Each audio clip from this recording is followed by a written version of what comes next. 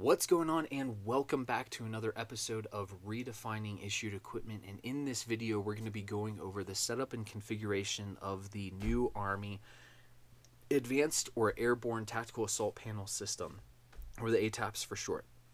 Now, in this configuration, we have it set up from kind of more of like a leadership position.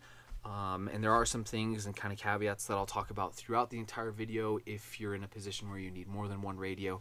But for right now, we just have the one radio on the non-dominant side. Uh, with that, there will be a couple of caveats for the back panel system here. I don't have the Fire Force MOLLE panel in yet, but I can show you a way that you can configure back panels to the shoulder straps and the back straps so that way it stays in place and it doesn't shift around on you too much uh, when you're moving and setting it up on your kit and all that. So uh, with that, I'm just going to start kind of going from left to right so that way you guys can see what's going on and then we'll get into the back panel stuff at the very end uh, and go from there. So with that, on the non-dominant side, we have one of Tac Tailor's Fight Light double mag pouches, running two mags in that. And then on top of that, we have the Blue Force Gear 10 speed double mag pouch to be able to plus up on mags and or run other equipment like GPSs, compasses, and other small items that you may need. Um, for me, and I know for some of the guys out there in the uh, demo world, uh, you definitely can fit some of the initiating systems that the military runs inside of these as well. So that is an option as far as uh, that goes. Next, we have the radio. So when it comes to radios, if you're in a leadership position where you just need one, that'll be a pretty simple answer. If you need more than one, then you're going to probably have to set up another radio on the opposite side of the the uh, tap system or the ATAP system. So that way you can run one, and then you're just going to have to shift your uh, general purpose pouch over a little bit, so then that way you have enough space to be able to fit everything in there. So uh, just a caveat for that for radio pouches. I believe this is just one of the old Tac Tailor uh, radio pouches that I've had for a while. Uh, it does a really good job for holding the radio and setting everything up, and then uh, you can unbuckle it and kind of fold it out to be able to read all of the data on the board uh, or the little screen, and then make any adjustments as needed. As needed. So we've got the radio there to be able to establish communications. Um, if you're a commo guy, or an RTO, you can definitely run that here. And then if you're running a 117 Golf or some other radio, you can definitely fit it in a small pack like this tactical tactical assault gear mission sustainment pack. So that is an option when it comes to running a larger radio with this whole entire system. Uh, so that way you're kind of keeping things as streamlined as possible and reducing how many additional bags and pieces of equipment you're running. Uh, with that, kind of moving on to the last bit that's on that left-handed side of the uh, MOLLE panel, we have just a small general purpose pouch or just the pouch that you would use for your med kit. Now I'm a my personal preference is to run my med kit on my belt. It's just velcroed into the interior of the outer belt. So then that way, if I ever have to ditch my kit, plate carrier, and anything else, I'm still running with my belt and I still have at least a med kit to provide, you know, self aid and possibly buddy aid. So I would recommend um, if you can run that med kit on your belt, run it on your belt. But if you can't because it's a unit SOP and you have to have it either on the left or the right side of your kit, then I would just go ahead and run that right there. Uh, it is a little bit tight, so depending on the size of the pouch, you may have to lengthen out the uh, or stretch out your adjustment straps and then MOLLE it on top of those as well. So it will work. Um, I just had barely enough room to be able to fit it through the MOLLE, so I was able to throw it there. But uh, if you need that extra space to MOLLE, MOLLE it to the actual adjustment straps. Uh, with that, I'm going to skip the back panel and continue moving on over onto the right hand side. So right here, we have one of the old uh, aviation small general purpose pouches. This thing is actually really, really nice and very well put together. So um, if you can pick one of these up, I would definitely recommend doing it. It's about four inches by four inches by one to two inches deep. Um, you, it definitely stretches out a little bit more, and I have the ability to throw you know PVS 31s in here, so there's plenty of space with this small little general purpose pouch from uh, the aviation side of the house. I do know that Venture Surplus is selling these, so you can definitely pick them up for a really uh, fair price when it comes down to it. Uh, next, I just have a small multi-tool, so if you don't have the space to run a multi-tool on your belt, you can definitely throw it here on your kit. Um, with that, though, there's also this multi-tool uh, pouch on the Tactical Assault Gear mission sustainment pack. So you can throw it up there, and then that opens up some space for another radio if you need that. Uh, if you do need to put a radio right here because you're in a leadership position where you have to have two radios, like I said with the little med kit over here, you may have to shift this general purpose pouch over just a little bit and MOLLE it to your adjustment straps. So then that way it provides enough space to be able to run a, an additional radio. So uh, with that, when it comes to the radio cabling and everything, before I get too far, I would highly recommend probably doing a relocator kit just because of the way that these guys sit. Uh, so then that way you don't have those antennas running and hitting you in the face. That uh, relocator kit can simply just tie right into your uh, radio antenna port and then wrap around into the cummerbund along that adjustment strap and then into the backside. And if you have a pack like this, you could definitely run you know those antennas on the interior portions of the MOLLE that's on the actual pack itself. And then that way um, everything is nice, clean, streamlined, but then you can still run a full-sized uh, radio antenna or a body whip, uh, depending on your personal preference. So, um, so just some food for thought when it comes to the radio configuration piece.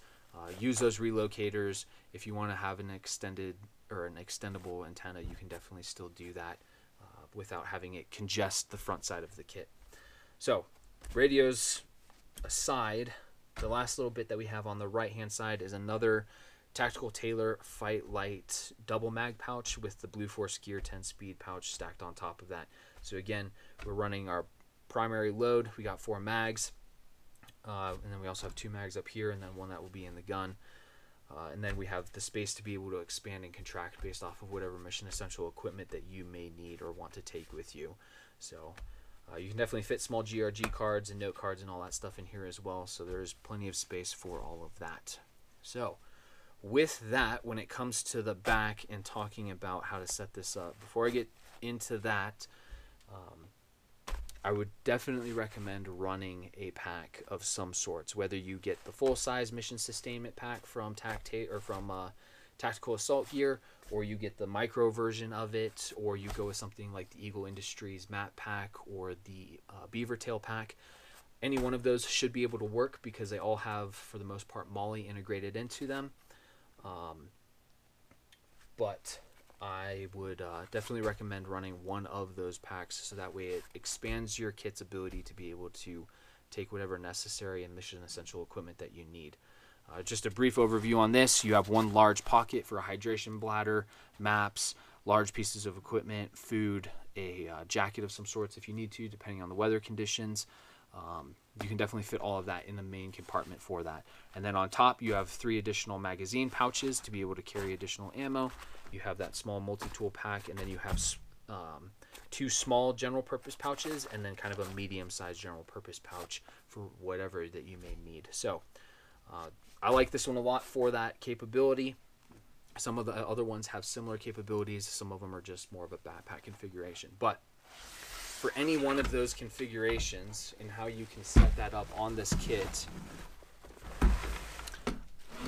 it's pretty simple for the most part. So what you'll do is when you get the kit, you can, or with the pack, and you're looking at the shoulder straps for the ATAP system, you'll take the pack and you'll MOLLE it into the top section of your shoulder straps. You have that one section to MOLLE right there, so you can MOLLE that right in and then from there you'll just lock those MOLLE loops into the remainder of the pack so that way they're not moving.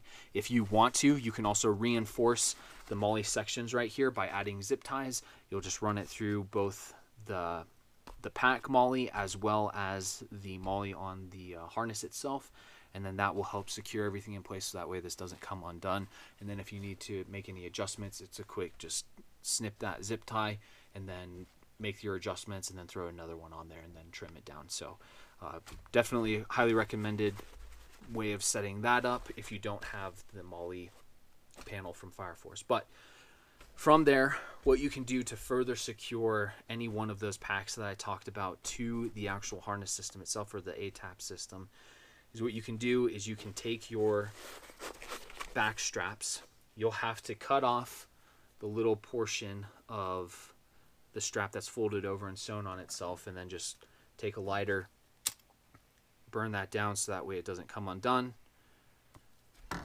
And then you'll take this, completely undo it from your attachment system at the top of the harness, and unweave it completely, and then you'll run it from the bottom through the MOLLE portions on the back of the MOLLE pack, and then back through your adjustment system, and then back down through the MOLLE straps. That will help secure everything in place to where this will not get away from you. And then if you want to further secure things, you can go ahead and go to the bottom of the pack system, attach the MOLLE to the bottom of the pack system, and then also run a couple of zip ties here at the bottom. Hopefully you can see that. But your MOLLE that you have on the back panel or the mesh back panel and the MOLLE on the pack will zip tie together. And that will help secure things and keep things in place.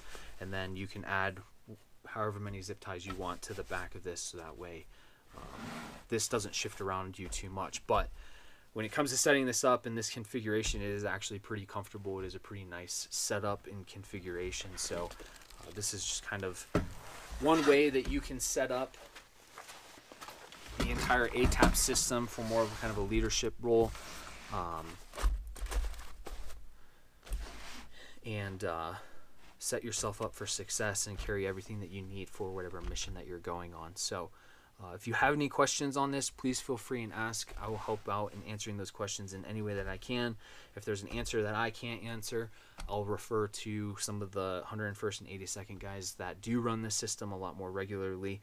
Uh, but um, either way, we'll help you out in any way that we can. So, with that, like, share, and subscribe, and we'll see you next time.